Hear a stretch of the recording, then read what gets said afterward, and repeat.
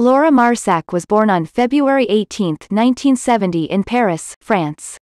She is an actress and director, known for Interview with the Vampire, The Vampire Chronicles, 1994, Mesrine Part 2, Public Enemy Number 1, 2008, and Queen Margot, 1994.